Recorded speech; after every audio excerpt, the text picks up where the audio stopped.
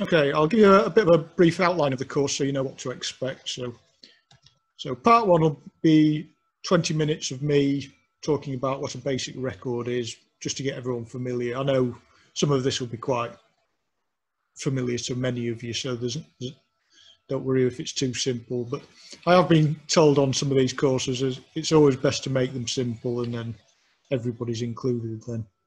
But it will get more detailed later on. Ashling's also going to give you an overview of the state of bird records and how to submit them and some of the technicalities of using some of the Cofnod systems. So a lot of these uh, areas that we're covering are, are, common to all sorts of biological recording, not just birds, so it will be quite useful for that. And then part two is where Ian will take over the reins with his presentation and he'll be giving us 30 minutes of in-depth information about how to record birds and what exactly he's looking for. So I've seen his presentation already, it's quite interesting. Lots of useful tips there that will help you get familiar with bird recording. And then there'll be 15 minutes or so questions towards Ian on aspects of bird recording. And it can be anything from equipment all the way through to what makes a good record. And then part three will be a roundup. That'll just be a close down really and maybe a bit of an open mic session for any other sort of recording type questions. Right. Okay. So what is a record? Well, that is a, an interesting question, isn't it really? Because, yeah, I know when I first started working at Cofnod, I'd, I'd say, tell my friends, oh, I've got a new job in a record centre. They thought I was selling vinyl CDs, vinyl records. So, yeah, that sort of got out the window. People are a bit more familiar with what a record centre is now. So, a record, what we distill it down to are the four W's. So, that's a good way of remembering it. So, essentially, four W's are what make, makes a good record. So, you start off with a record. What it, what is it? Well, basically it's the name of the thing you've seen. So either robin or the scientific name there. So on our systems, you can generally enter them either using a common name or the scientific name. You can also put them at family level if you if if, if it's a species group that's tricky, but I think with birds we're more comfortable using full species names. It's not like some of the more difficult taxa where you're needing to rely on genus level things like parasitic Hymenoptera or, or the. And then of course there's where. Where have you seen it? What these are the sort of core features of a record. So it's the location. So either a town name, nature reserve name. One thing to avoid is obviously don't make it too parochial like my garden because really a record has got to be useful to uh, somebody else who sees that record in the future. So if they've suddenly been confronted with a species list with a location saying my garden, it's fairly meaningless in the future. And remember, these records could be looked at in 100, 200 years' time. So make it something sensible for where you've seen it. And obviously, the part of the where is a grid reference. I know Ian will go into more detail about that. So I'm sure many of you are familiar with grid references, so I won't talk about that. And then there's when. Uh, always useful to have a date of when you've seen this. And there's various levels and accuracies, I suppose, of what sort of date you want to give it. Probably be best is to give it a, a, a day date. So, I don't know, 2nd of September this year, or if you're, you only know the month, say it was a, a moth trap or a pitfall survey where you'd left it out for a period of time, you could put a date range, or you could just put the month and the year. You can even put it as a season. So depending on what you're recording really, and a year, but obviously a year is useful, but it's not as good as a, a day record because some of these species are seasonal. They may only appear in spring, and that's useful for county recorder to verify a record because many species are seasonal. And if, for instance, you're, you're seeing a swallow in December, you might start wondering what's going on there because really they should all have gone by then. So that's a useful sort of double check whether the record's good. So well worth putting a good quality date in there. And then who. So that's good so that you actually tag the record with your name. You can put them in various formats. So your full name or maybe just a contraction. And if you don't know who recorded it, put it as down as anon. So that's quite useful if you're decanting records out of historical books or something like that. So you don't necessarily know who recorded it, but you still want to lodge the record somewhere. And going back to the sort of my garden element, don't put just me. So that's not really useful. so just think about who's going to look at your records in the future and make them as understandable to everybody as you can, really. Okay, and this is probably quite a, a important question is everyone says, oh, well, recording's good, but why is it good? What, why are we actually recording? Well, there's quite a number of reasons why people record, and not everybody records for the same reason, but all are equally valid, of course. So personal interest. Uh, it's nice to go out and look at wildlife, isn't it? And it's great to make a list of what you've seen. And I find it fascinating going back over my old lists and seeing what I've recorded in the past and when. And it's quite eye opening, and particularly when you go back to the same site and it's a similar time of year in, say, five or 10 years' time and seeing how things have changed and seeing whether you're getting a better recorder as well. That's quite interesting. Uh, there's also conservation reasons. So your records collected individually are, are, useful, but when they're amalgamated with other people's records, we start to see a far bigger picture. So in this screen grab down here, that this is an output that we do for North Wales Wildlife Trust. So they ask us for all the biological data in their reserve boundary so that they know what's in on their reserves and how they can inform management towards protecting some of the more interesting species on site. And without sharing your records, the Wildlife Trust might not necessarily know what's on some of these reserves. So great, great idea to do for that reason.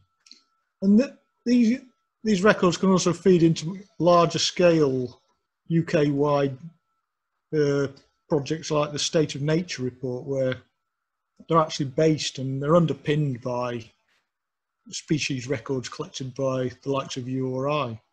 So it's not just recording for the sake of recording, it's we are producing useful data at the end of the day. And species atlases, of course, tracking the changes of distribution of species. And that's only useful if you've got a continuous, continuous range of data coming in over the years. And of course, informing planning decisions. So if we don't know where interesting species are, we can't inform planning applications to avoid causing damage to some of our special species and what have you. So yeah, variety of reasons why people record and not everybody will record for the same reasons, but you can see there's quite a lot of nice outcomes there. Right, another question a lot of people ask is, what should I record? I'm, I'm new to recording, what should I record? Well, you could actually go outside and record forever because you open your eyes and there's always something to record. But realistically, it's it's not feasible, is it? You've got to pick and choose what you record, really. So, in theory, you can record everything, but yeah, it's not not realistic. So I've, I've hinted at some of these points that it's nice to record even common species because they may not necessarily be common in the future. So things like red squirrel. 100 years ago, red squirrels were everywhere in Britain. And then something changed. We all know what. The grey squirrel brought in diseases and what have you. But at the time, the Victorians probably never, never even thought that red squirrels would be a conservation issue. Now they are. So getting those common species recorded now, great, because we never know what's around the corner really. Rarities are interesting, of course. Everybody likes to find something unusual and uncommon, and why not? Let, let's make a note of that record. And long-term trends as well. So as populations change and species become more common with possible global warming and climate change, or equally some species become less common. So unless we've got those records, we, we've got no evidence, have we? And okay, so we don't want every record really. So you could go to the extreme and record a dandelion on your lawn every hour of every day of the year, but realistically that's not useful, is it? So just just think, just think, well, if I've got a dandelion, maybe one record a year is probably good enough. Uh, likewise, if it's something like a bullfinch coming in, your garden periodically, maybe it's worth putting those on every day you see them. So just be a bit selective, but use your common sense, obviously. Right, more information. So you've, you've done your record. How do you know, is it an interesting record? Well, you can actually go on this site called Aderyn, and this is a compilation site which draws records from all four biological record centres in Wales. So it also includes Cofnod data, of course. And you can go on there, it's free to use. You don't have to log in or register, and you can get some really interesting, quick, all Wales data to see your record in context. So I ought to say that we're, we're recording this, well, I think we are recording this, Ashley. Uh, and you'll be able to see this later. So you can go on that Aderyn site whenever and check your data.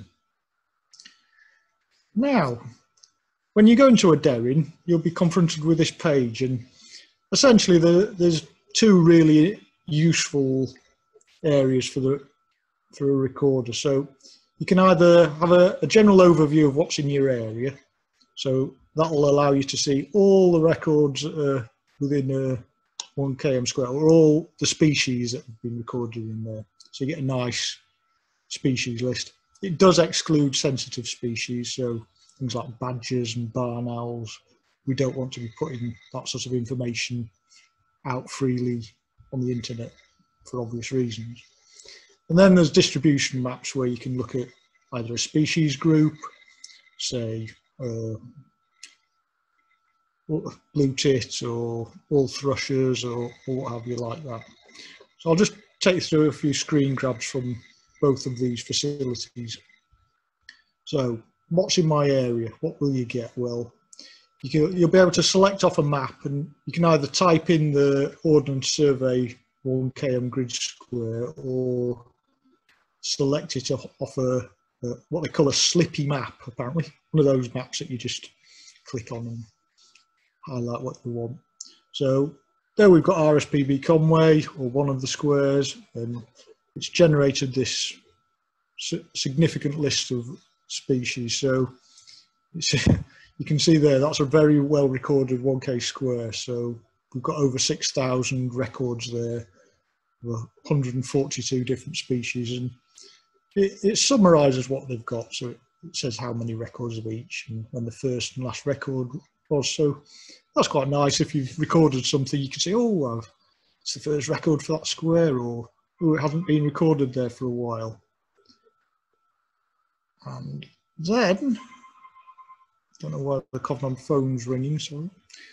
Uh, you can do it by a group, so you can either select at a family level or a similar taxonomic order. So you might go, I don't know, what, uh, any family, for instance. So, yeah, just select off that drop-down menu and type in what you're doing. It'll it'll ask you various levels of which to go for. Similarly with the species, so you'd go insects, butterflies, and then select peacock butterfly in that sort of order. So you have got to know, have a fair idea of some of the taxonomic hierarchies to use that, but it's usually fairly straightforward. And there you go, you can have a, a nice 10k square map showing you roughly where all the spe species records are. And you, that's quite nice because it can identify under-recorded areas. So you could then zoom in and go, oh, look, that 10k square hasn't got any butterfly records on or moth records. And then you can go and visit that square and do some recording. Okay. There's other internet resources you can use. So what I would say is that not not one of these internet resources is completely comprehensive. So it's worth visiting a few because they're drawing data from different areas. So I think Aderyn is, is probably the best one for Wales, but you can always also visit NBN Atlas Wales as well. And that's a similar platform that'll allow you to interrogate species records at an all Wales level. And that's the sort of out, output you'll get there.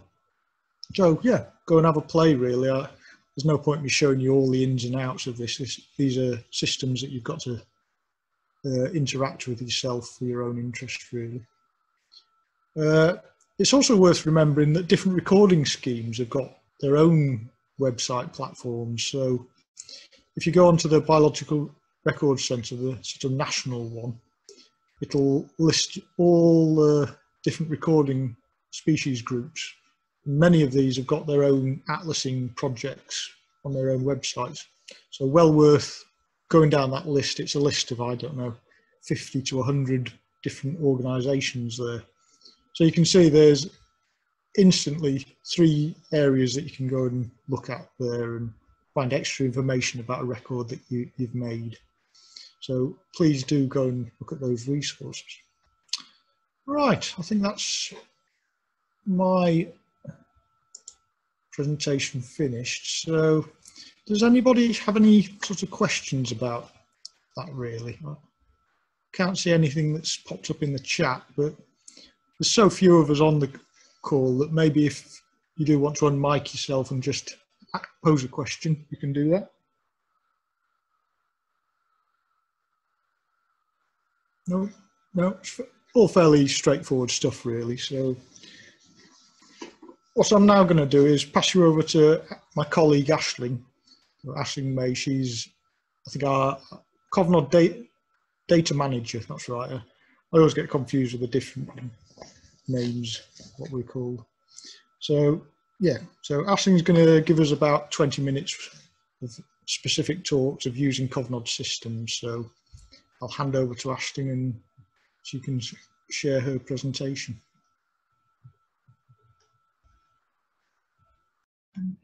There we go. Okay. You're muting yourself, Richard, now. Um, good morning, everyone. Um, uh, yes, I'm Ashling May, as Richard says. Um, I'm the data manager with Cofnod. Um, I'm just going to share my screen with you um, and go to my presentation.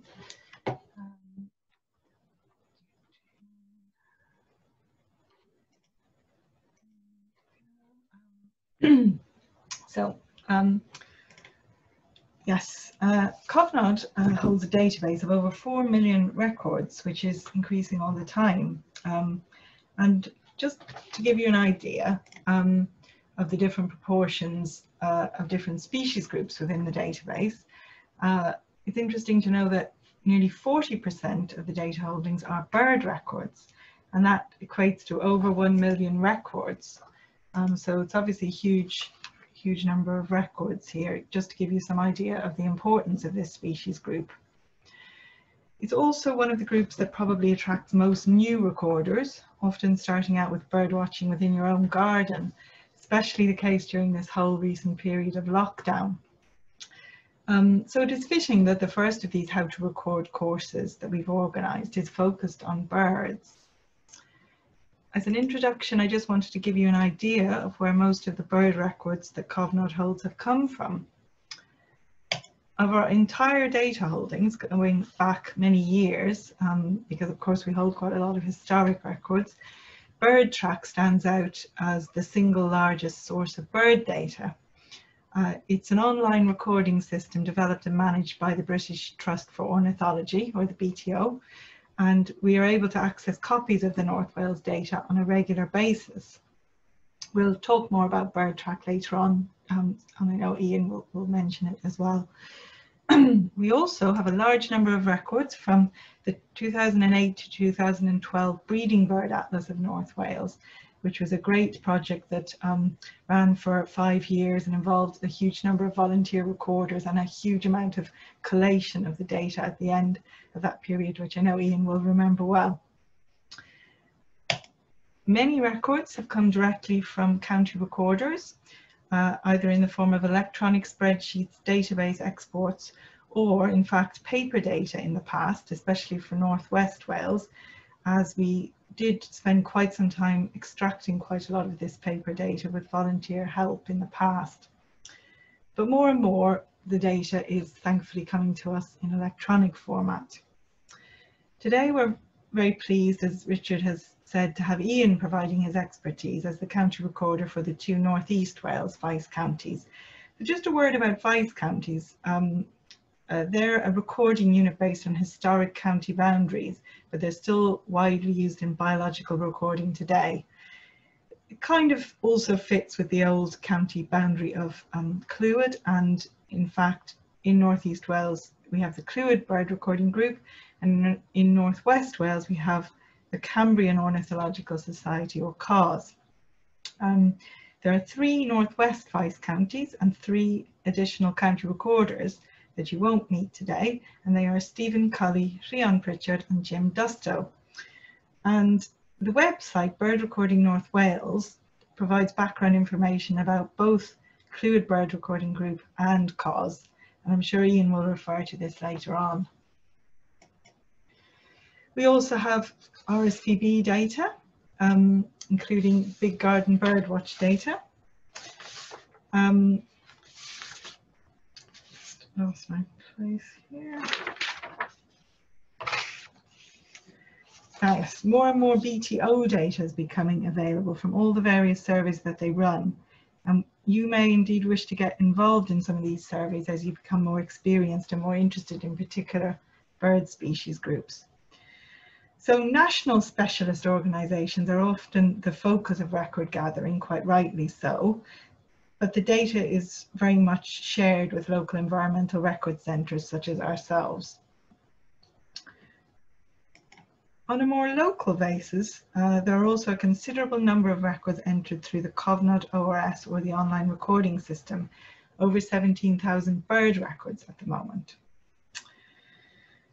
Um, so I would like to give you a quick demonstration as to how to use the Cofnod ORS because it is a very useful starting point especially for those of you who may record many different species groups. Um, some of you I know are already ORS users, uh, but hopefully there will be a few tools and tips that you're not aware of. And there are also a couple of projects specifically looking at two bird species, swifts and curlews, which are available to you. You may also have come across the um, LERC Wales app, um, which has its advantages. Uh, it's an app that can be used on a smartphone in the field, but there is a delay in availability of the records to Cofnod and to the county recorder. There's a link to the app from the Cofnod website if you're interested in learning more. Um, but on, uh, there's also a national database called iRecord. Uh, but from the Cofnod and the county recorder's perspective, the two options that really are best for submitting bird records are the Cofnod ORS and BirdTrack, which is preferred by all or most county recorders. So I think if you're really getting into bird recording, that's where you should go. But as a general um, recorder and just getting used to recording different groups, the Cofnod ORS is also really useful to know how to use that. Um, okay, um, so uh, yeah, one of the main advantages of the OS as well is that if you're entering records for different species groups, um, they're available immediately to the relevant county recorder and we've very dedicated local experts for all the main species groups. As well as birds, these include county recorders for mammals, plants, butterflies, moths, dragonflies, spiders and fish. Um, and it's worth saying that all of these county recorders are acting in a voluntary capacity. Oh, one other final option is that if you do have data in a spreadsheet format, and you can always email it to us and we can import it. There's certainly no need to re-enter any records onto the ORS or BirdTrack. Okay, just to move on then to the ORS. Um, the rest of my talk really will just be running through some of the tools and methods of entering records using the ORS and any questions please put them in the chat or um, we'll open up the floor at the end of this section for any specific questions. so um, the ORS, um, the Cofnod Online Recording System, is actually 14 years old. It was one of the very first recording systems, online recording systems that was developed. Uh, but there's a new version pending, hopefully by the end of this year, which will be able to be used from a smartphone in the field, which will be quite useful. It's been designed and developed in-house and as well as being able to put your ad hoc records on, there are some specific projects, including a number of public projects, and also some people have access to um, restricted projects, such as monitoring different species groups, dormice, um, uh, reptiles, etc. And then there's sometimes some groups using it as well, and this enables them to share records with each other. So um, there's all kinds of um, aspects to the ORS. Uh, so to access it, you first go to the Cofnod website. And I know many of you are already ORS users, so you'll be familiar with logging in at the top of the screen or on the left. But if you haven't used it before, there's a very quick registration process. Uh, you just put in some basic details, set a password, and you're good to go. You then will see a members tab appear on the far right of the toolbar and um, you'll go straight into the welcome page in the Cofnod members area. There's some user specific content at the top, which where it will say when you last logged in and how many records you've entered, etc. And then down the bottom, there are some more generic tools. So a direct link to the species dictionary, a direct link to the interactive mapping facility. Um, and also useful to know that there's an icon there for my details where you can update your um, email address, your postal address, and very usefully, you can also put in some information about your recording interests and also your experience level so that if a counter recorder is looking at one of your records in the future and um, maybe deciding whether or not, um, you know, whether maybe they're not quite sure whether it's um, reliable or not, but if they have an idea about your level of skill with that particular species group, it could be quite useful to them. Um, back to the members page, you'll see we have uh, the icon to enter records, which is what you'll be using most of the time. If I click on that, whoops, let's go back one. Um, we have the options that come up for most of you, um, starting with standard entry at the top and then some of these public projects. These do vary a bit over time, but currently we have a couple that are particularly relevant to bird recording, which is Swift Recovery, which is a North Wales Wildlife Trust project to try and help swift populations, and also the Curlew Cymru project. And the difference with um, clicking on either of these options is that you'll get a little bit of information about the project and there may be some additional fields that you need to fill in because they're looking for very specific information for these projects. But clicking standard entry, you bring up the standard data entry form. And um, the first element you then will need to look at is choosing your species name. So this is the OT element of the record that Richard referred to. So firstly, you choose the species group, so in this case birds, from the drop-down list. And this uh, really just speeds up the process of finding the species you're interested in.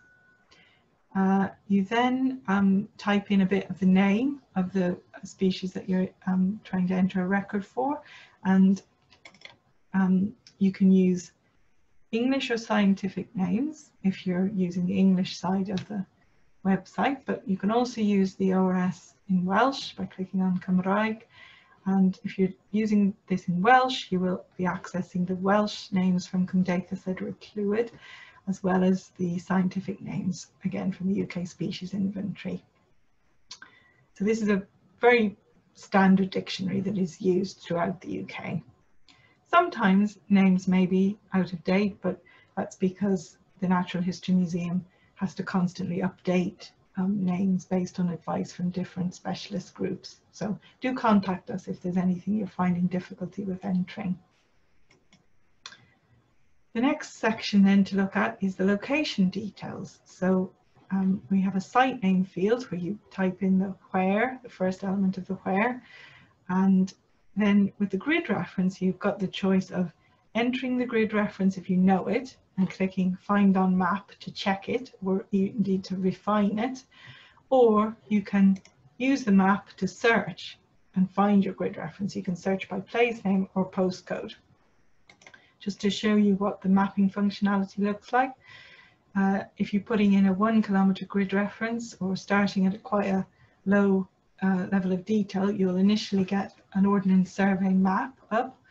Um, and in, men, in some cases with bird records, that will be the level of detail you wish to enter. But really, for Cofnod purposes, it's best to have a six or an eight figure grid reference if you can. So you would use the magnifying glass icons on the top right of the screen to zoom in and out. And um, the more you zoom in, um, you'll, you'll access an aerial photograph, which will help you to maybe refine where you actually saw the, the, the bird. So it may be that you can put in a six figure grid reference, which covers 100 meters square.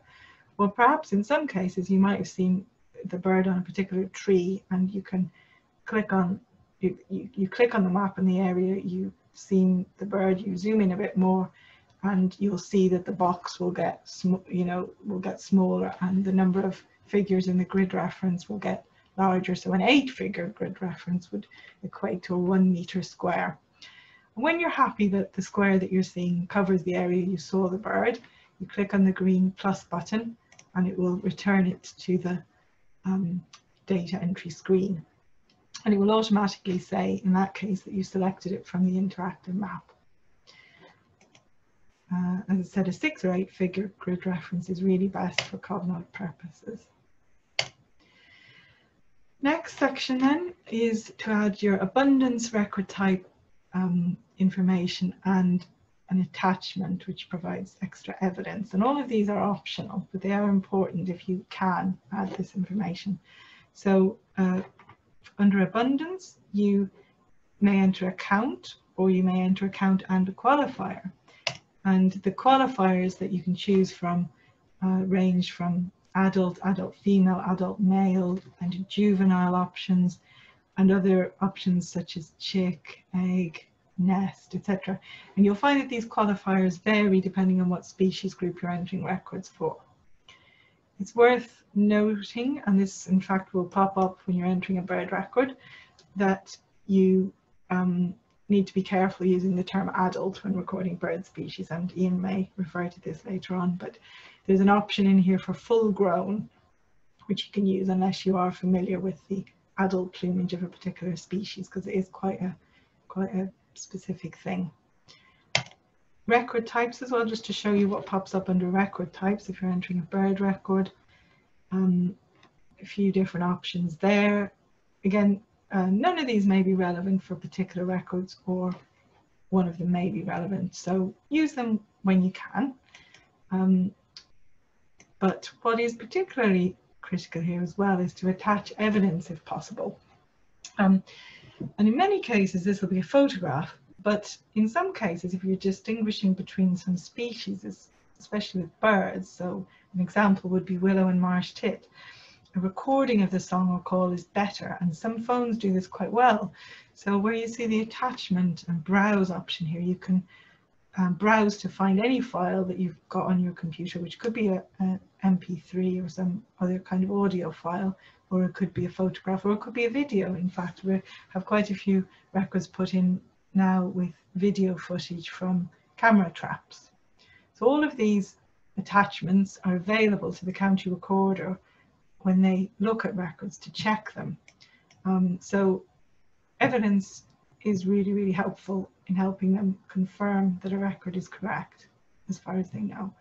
Um, so I just wanted to show you a very nice photograph here, which is attached to a waxwing record, courtesy of Castle Vision Photographic. So just um, as an example of some really nice photographic evidence. But even a very a fairly blurry photograph can still be be useful. Um, it's better to have something attached than nothing, but of course in a lot of cases you may have missed the bird, it may have flown away too quickly. Um, now, uh, moving on to the next section on the right of the data entry form, you need to add your recorder name, the date, and any notes. Um, now, the recorder will generally default to the name of the person entering the record, but you might be entering a record on someone else's behalf, or you might be entering a record you don't know who the recorder was. And in that case, as Richard said, you put a non, so you can overwrite what pops up in the recorder box there. You can also, in fact, add more than one recorder by clicking on the little icon to the right of the field there with the plus and that. So you can add two or three recorders if you're out in a group. You can also add a determiner. Uh, this perhaps less relevant for bird records, but often if you recording something like a moth, you might take a sample, send it off to somebody and they might confirm what your identification was and then you would add that information there the date. Um, you can use the little calendar icon to just choose today's date or to um, you know, go back a few days, a few weeks and click on the date from the calendar, or you can also type it into the field here in this format. As Richard mentioned earlier, there will be occasions when you don't have the full date, so you click on the vague date symbol there and you can put in a month or a season or a year. But if possible, it's best to put in the actual date. It's also possible to add a date range, but I would say if you're going to do that, it's worth putting a note to say what the date range refers to.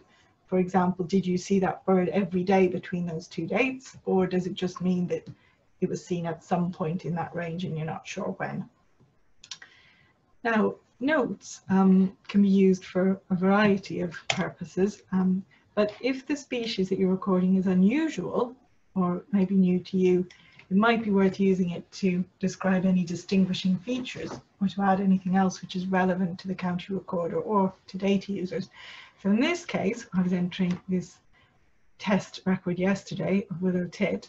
Um, I wasn't, I was, um, I wanted to show you how you could enter a record that you're not sure about, put a very low confidence um, and to put some details in the notes to alert the county recorder that there is a audio file attached that they can listen to because you're not actually sure if it was marsh tit or willow tit.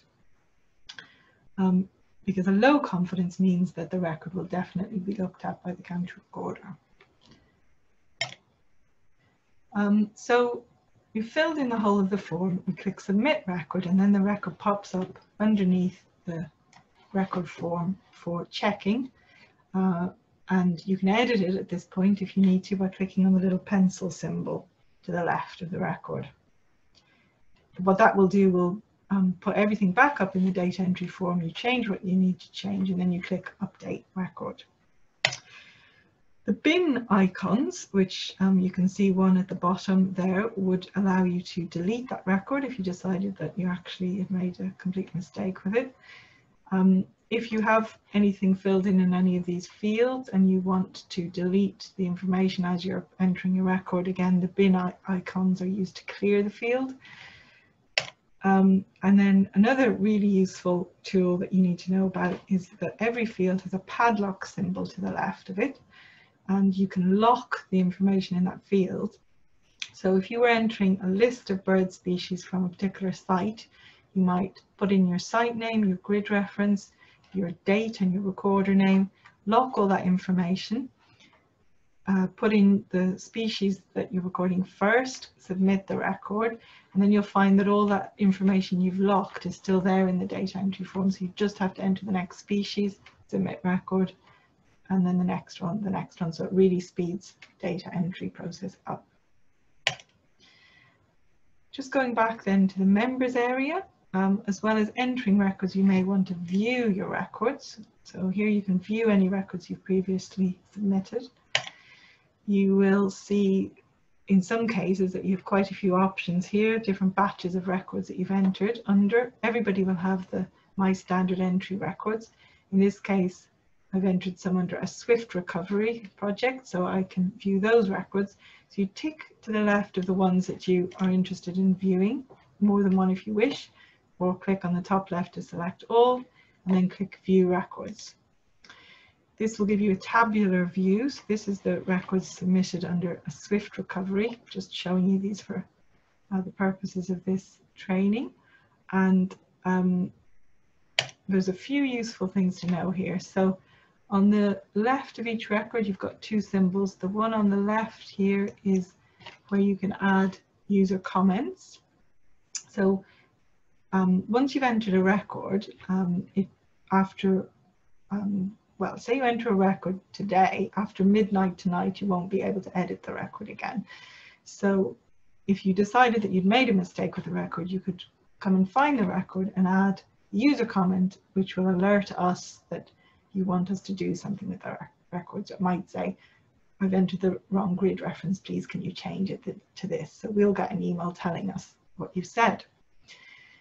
The other symbol then to the right of this is the quick filter button and this enables you to perhaps view all records on a particular sighting date by just clicking on the sighting date in the list or if you had a mix of species records here you could view all records with the, the same species name. Now there is a more detailed filtering option which is on the right of the of the view records page uh, and there's also a tools button and the tools button will be very useful to you for various things such as mapping your records or downloading them if you wish to do so so that you have them in Excel or something like that. Um, you just click on the appropriate option. You can um, map or download everything you're viewing or you can filter first and then map just those records or you can tick in the boxes to the left of specific records too you just want to download a selection or map a selection. And that's what the records will look like when you've mapped them. Um, so they give you a nice overview and you can zoom in to get, because sometimes you'll have an area where there's a big clump of records and you'll just see a number and you can zoom in and then get to see them mapped as you zoom in. The status of your record will be shown on the right of the tabular view and um, this is telling us whether or not your record has been verified by the county recorder. Um, this, the symbols, coloured um, circles that you'll see um, relate to whether the record is being set to probably or known correct. Um, known correct will generally only be if there's a photograph attached or something like that, but, but both known and probably correct records are used in the Cofnod data searches that we run. So our um, perfectly um, valid uh, verification levels. Unconfirmed means that the county recorder couldn't make a decision based on the information attached. So um, in some cases, perhaps because the record is a bit too far back in time, or just there isn't enough information attached for them to be confident that the record was definitely correct. But they may get in touch with you to ask for some more information or maybe Cofnod staff may as well because sometimes people maybe just haven't attached the photograph that they actually have or they can give a little bit more feedback as to why they decided it was X species rather than Y. Sometimes the records will be set to incorrect and um, don't be overly concerned about this. There will often be a comment to say if there was a photograph attached, for example, that actually it was this other species, and then it is possible for us to update the records. Um, and it's all a learning process. So this is actually quite, quite useful sometimes to provide feedback to recorders. Unassessed records are those that haven't been verified but haven't needed to be verified because they're of um, quite easy to identification level really. So records are prioritized for checking by various factors, but this includes an ID difficulty rating. Uh, but then there are also automated geographic and temporal checks. They're no, by no means um, completely foolproof, but it just gives us a way of prioritizing which records need to be looked at. And then the final thing that will mean that your record needs to be checked is if you put a low confidence level. So that comes to the end of my um, quick overview of the ORS. Um, just to say that on our website, there is a link to a find a local expert section where you can um, check who is the local expert for a particular vice county and a particular species group. And these are the four um, vice county recorders for birds. So we have Jim Dustow covering Merioneth, Rhion Pritchard covering Carnarvonshire, Ian covering Denbighshire and Flintshire, and Steve Culley covering Anglesey. Um, as Richard said, the, the um, courses will be recorded, but really you can navigate to this from our website if you want to contact any of these recorders. Um, thank you for listening. Have we any questions at this point? Yeah, we've got a couple of questions there, Ashling. I uh, don't know if you want to stop screen sharing. Okay, so uh, going back to the roles, I think it was, Ian's asked a question, what what use does Cofnod make of those interests that you lodge when you register sort of recording interests like birds, insects, butterflies? And I suppose I, I can answer that. It's generally what we're trying to do is get an idea of what people's main recording interests are. And that way, if you've ticked to receive GDPR compliant communications from us, if an event in the area happens that's related to those subjects, say for instance, uh, the National Recording Group for Species Group is coming to North Wales and we need to get in contact with you to let you know that that's going to happen because you might be interested in attending. That's one way we can rapidly get your email addresses and make you aware of anything that's potentially interesting to you that happens in North Wales. It's uh, also the case, Richard, that the county recorder can click on that, mm. um, on the name of the recorder that's entered a particular record, and they can see that information as well. So that's yeah. kind of what I was thinking of it more being used for that. Um, yeah, that people can see that that somebody's maybe been on a particular course or they've um, they have quite a lot of years of experience of recording this particular species group because maybe they're new to the area or something and so the county recorder isn't familiar with them. Okay, and then more interesting question I suppose is uh, David's asked why essentially why why is there so many different recording platforms for different species groups and why isn't there one centralized national recording uh, platform for everything really? And I suppose that's how it's evolved really. Uh, I think we were quite, we, we could well have been one of the first, I think, mm -hmm. asking, we having were, a, yeah. an online recording system and you could say we were the first to start it and others have copied. Well, that would be mean to say, but obviously a national recording scheme wants to control their own data publication. And remember, a lot of these different platforms will share data across them. So, for instance, BirdTrack, if you submit records to BirdTrack, Cofnod will receive that data. So there's no need to, to duplicate your records by putting them on BirdTrack and Cofnod. Just put them on BirdTrack and then they'll come to us anyway. Mm. Uh, likewise, they can get pen at a, a lower resolution. So don't feel compelled to submit your records to multiple places. And it depends what you're recording, of course. Some species groups prefer you to use one platform over another. So do, do ask the people that are the vice county recorders what, what what's your preferred method to receive data in and it it may be that they, they just want to take it as an Excel spreadsheet submitted directly to them. So I can't speak for everybody, but that's probably the reason is why there's such a proliferation is that everybody has a different flavour to how they want things to be recorded. And some of the recording platforms ask different questions they're, more specific. So uh, ours is a recording system where you can record everything some, for instance, may just record one species, of specific yeah. ecology information that they're after. So horses yeah. for courses, really. I think it's worth also saying that the Cofnod ORS is a local system where there's quite a lot of local feedback to recorders, where whereas iRecord, which is a national system, there is very little, I think, direct feedback to recorders because it's not really possible. So that although there are local recorders acting as verifiers, but it's such a big system that there is just isn't the capacity to have direct um, contact with everyone and there isn't the capacity to maybe have direct training of, of, of local people or, or you know assisting people to get used to using the system because it's it's you know you're a bit more removed from it because it's it's a whole UK based system um, so I think yeah these different systems have evolved because of slightly different circumstances but as Richard said um, the data is shared between us so you should have to just put your record in one place.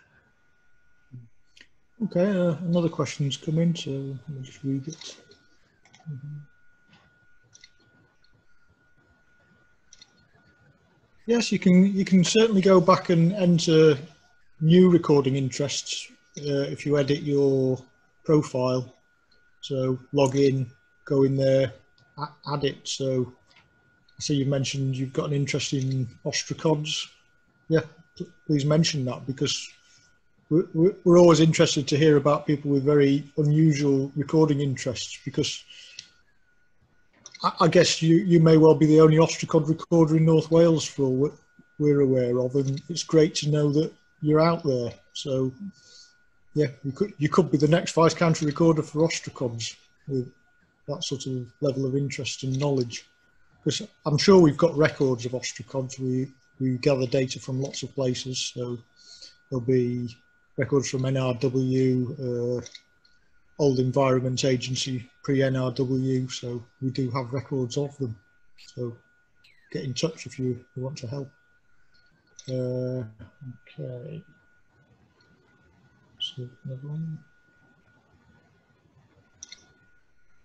Yeah. Okay. So yeah, you Gary, you just mentioned that uh, your interest was a long time ago, but yeah, if you want to restart recording ostracods, we're we're very interested in pursuing that. And yeah, all, all the ostracod species lists will be in that species dictionary. You'll be able to go on there and submit your records, and it's good that it's all held in one place. It's it gets away from that danger of managing it on an Excel spreadsheet and mistyping the name. It's very easy to do when you're managing it manually like that. Whereas a, a database system allows you to iron out those mistakes and it's a lot, lot easier to manage really. Okay, I, th I think we'll probably draw this one to a conclusion. Uh, if you th think of any other questions, we can pose them towards the end as well. So we're going to hand over to Ian now, who's going to give you a much more detailed flavour of bird recording and exactly what he's looking for and some good advice about how to start recording birds as well, of course. So I'll hand you over to Ian who will do a screen share of his presentation.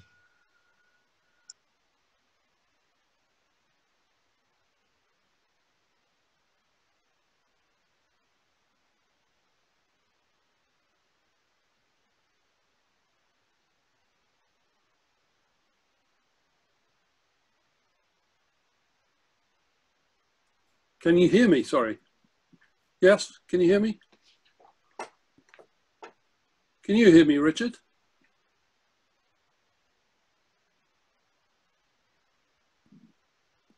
Hello, Richard. Can you? I mean, yeah, I, I was just on mute. Sorry. Oh, right. Yes, okay. we, we can hear you now. I'll put myself back on mute. Okay. Gosh, you're a harsh in introduction. I'm hoping that what I got to say will be a bit more interesting than my question but who knows? We shall find out. Anyway, um, I'm assuming then that, uh, well, I'm assuming nothing. So I'm just starting from, uh, from ground zero, if you like. So if you're going to be recording birds, kind of what things do you need to help you to do it? Well, it starts off fairly basic. You need your eyes, you need your ears. And I'm sure people who are blind would be very good at the hearing side of things, and people who are deaf, well, they've only they can only look. But although I haven't got time to go into it today, the thing about ears is uh, if you're wanting to get to know species, actually listening for bird song and calls is really important. And it's best to start that off in the winter when only resident, only mainly our resident species are here, perhaps some wintering ones with calling. But if you want to learn bird song, early spring, before the leaves are out, our resident birds will be singing away, learn them, and then you can expand with the summer visitors as they come along. Okay, so the, the, I suppose the first basic piece of kit that any birdwatcher is really going to want is a pair of binoculars. And I guess the, the, the thing I'd say there is go and test them and buy the ones that are the best you can afford. Um, and there's a huge range in binoculars, but don't go for necessarily a cheap pair because if you're looking through them a lot, I'm not sure that you're going to be doing your eyes an awful lot of favours if, if they're not optically good. Um, one of the uh, Ian, yeah. now just just butt in. I don't think we're actually seeing your presentation. We've just got a white screen up. I don't know. Uh, it says shared, screen sharing. Have you shared the right right screen? I'll stop the share and start it again then. Yeah. I chose my PowerPoint. Okay. Is that a picture of binoculars? It is, yeah. Okay, it must have just been a temporary glitch. Okay, okay. carry on. Yeah. So as I was saying, uh, but by the you know the, the, best binoculars you can afford, and one of the things that is uh, is unfortunate I've found in my life is that when I was young and really keen and wanted to do it, of course I couldn't afford a decent pair of bins like these ones. Although this particular pair, my wife won in a raffle, but that's another matter. And then as your interest grows, you might actually want to have a telescope so that you can see birds further away or in greater detail. And if you've got a scope, having a case to protect it from bashes is helpful. You need a tripod. And if you have one of these fancy packs um, that you can fit to the tripod so that you can actually carry the tripod on your back when you're walking. So if you go to uh, Point of Ayr and you park your car and you want to walk out to the RSPB hide, you can put your tripod on your back until you get out to the hide. That's very useful. As for identifying birds, I guess this is probably the best field guide we've got in Britain at the moment. It's uh, regularly available. I mean, Collins, all book, good bookshops should have that. And this is the kind of information inside. So you've got all sorts of illustrations and information to read if you get around to doing that. I really do, I must admit. I'm mainly looking at the pictures. This guide has also now been made into, into an app. So here shown on an iPad. And this is incredibly useful if because uh, you can take it out into the field with you and you can choose whichever group you want to go to. And then because it's an app, there might be some video, but more importantly, there might be a recording of song. And uh, three years ago, my wife and I went to Spain to do some atlas work for the uh, European Breeding Bird Atlas 2 that's going to be published later this year. And with species that we're not over familiar with, that are common down in Spain, we were able to check out was what we were hearing the species we thought we were looking at. And of course, that is incredibly useful. Back at home, you can still develop your skills, and the BTO website has this very good range of uh, bird identification videos. So you go to home, develop your skills, bird identification, you come to this page, and then you click a bit further to identification videos, and then you can choose which ones you want. And there's a whole list of them.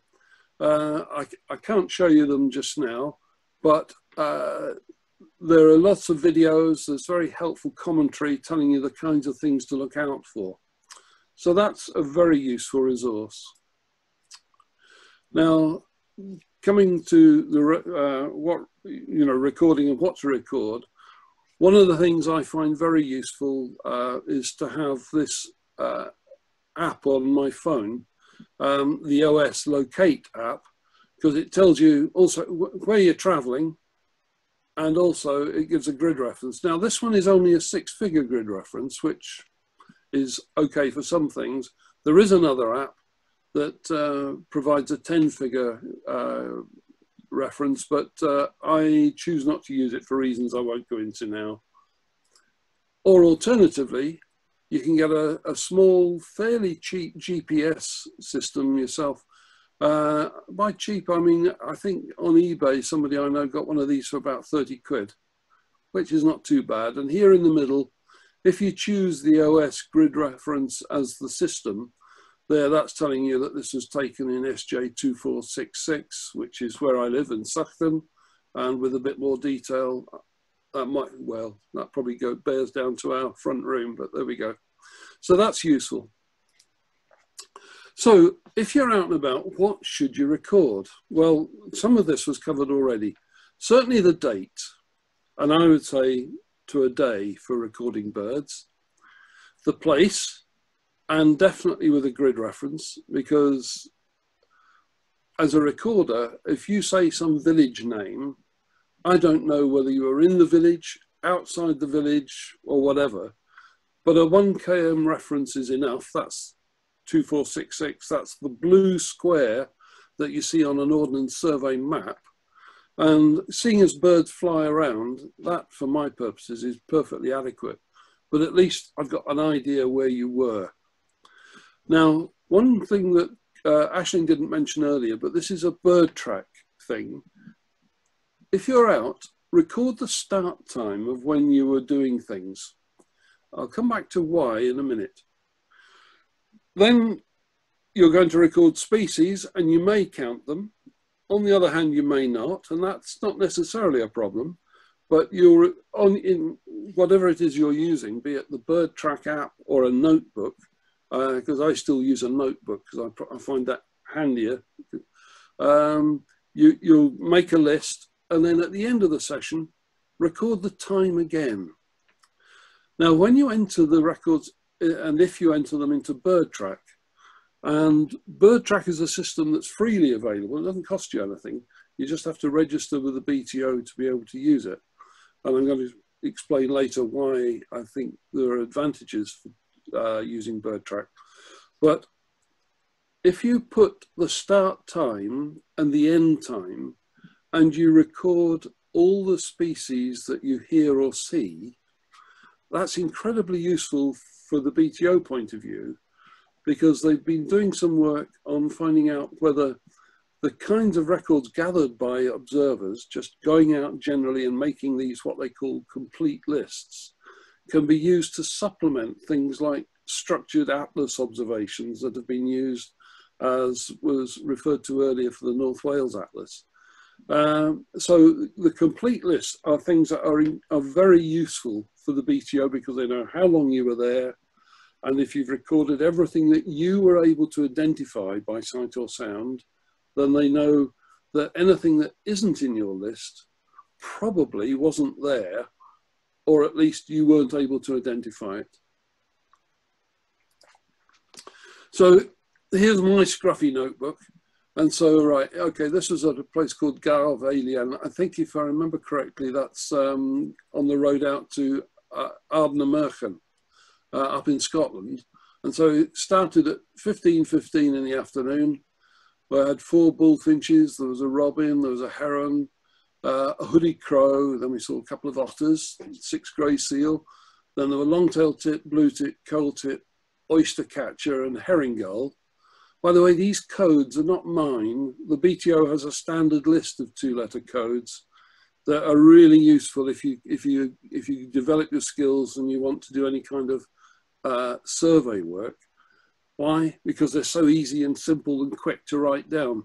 I mean, writing long-tailed tit by you know longhand is takes ages. LT is nice and quick. And so uh, then we finished that at 15.50, so that was just what, 25 minutes stop, uh, or 35 minutes stop, sorry. And then here's another date, another place. This was when we were coming back from Scotland. We went for a walk around Strathclyde Loch. And I, because it's the way I am, we started off in this 1K square. We got a list. We went into another 1K square, so I started another list, and it, and it went on like that oh, sorry, the ticks there will show that I've put them into BirdTrack.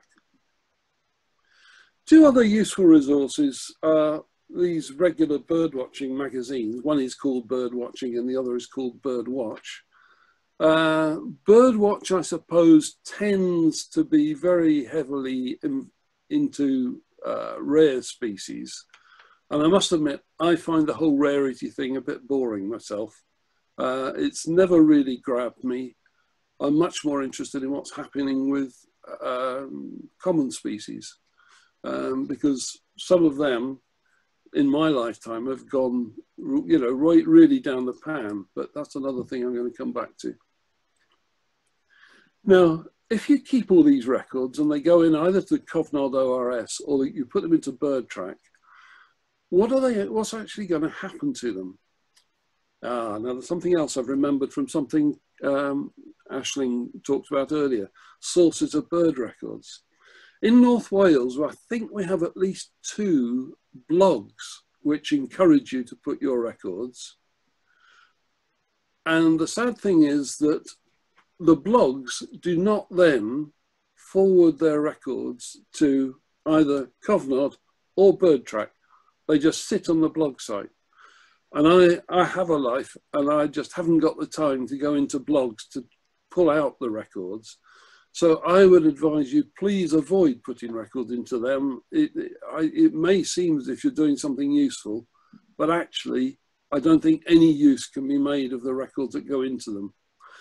But for the records that do go into places where they can be used, like the ORS, like BirdTrack, uh, this is the last report I produced, which was last year, obviously with the help of others. I didn't do it entirely on my own. And this is what you'd see inside it. And this bird report is unusual compared with some because what I do is I use all the records I receive get used. So for example, black-headed gull, each little square there shows where black-headed gulls were recorded during 2018 within the vice counties of Denbighshire and Flintshire. I don't know of any other bird report in the country yet that does that on a regular basis for every species. And I think it's crazy because where you see birds is geographical, why not present it as a map which is geographical? because I hate reading about three were seen in this village, two were seen in this other village, and so on. But that, sorry, that was a personal bit of bias that slipped out. But the other thing that you won't find in many reports is this kind of table here.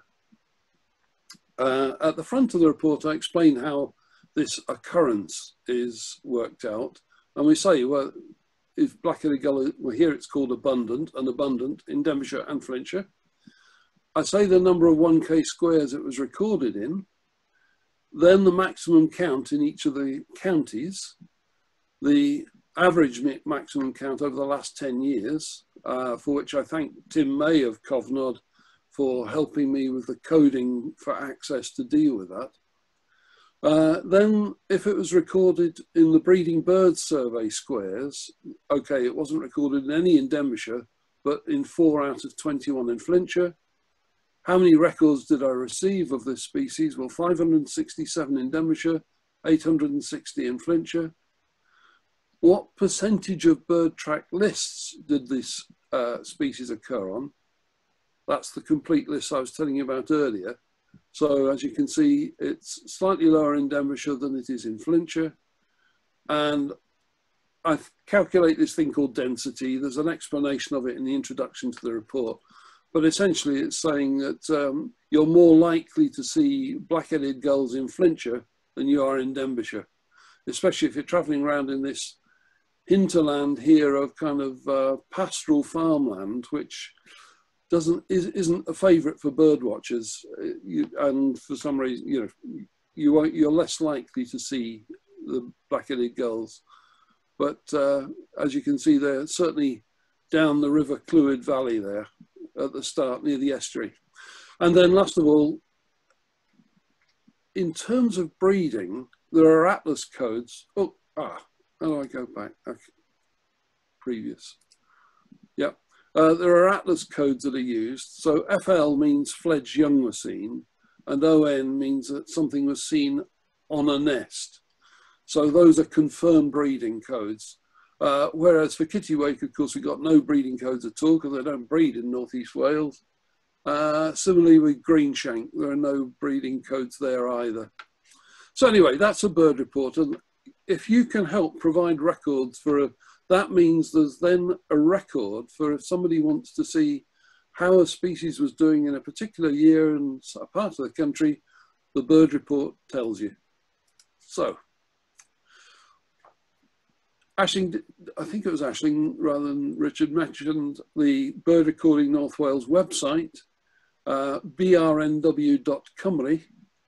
and this is it. And so it's got all sorts of information available. And if you want to find out about recording birds, there's information there and so on.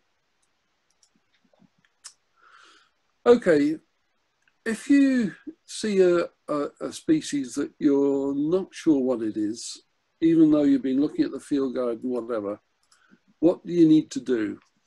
Well, certainly these days, a photograph is ideal. And with lots of people having smartphones, possibly with their bins, because some people manage to do that, or with a scope, try and get a picture of the bird because sometimes even a blurry picture can be useful. Alternatively, write or dictate into your phone a description of the bird saying what the different feather tracks look like in terms of colour and of course giving an idea of size. I seem to remember that um, uh, somebody sent in a, a description of a bird that it had a red bill and it was black and white. And the bird recorder at the time immediately thought, oh, that must be an oyster catcher. What the person didn't say was that the bird stood about a metre tall and it was actually a white stork, which is rather different, of course. Anyway, this is just something I grabbed off the web and it was actually an Indian thing, so which is why this bird looks a bit unusual to us. But having one of these sorts of diagrams with you can be helpful. Tuck it in the back of your notebook so because what we want to know is, uh, you know, the greater coverts, the primaries, the tail, the undertail coverts, the upper tail coverts and the rump, all these different bits of the bird, what sorts of colours were they? And if you can describe that, that can be really helpful in working out whether you saw what you claim you saw.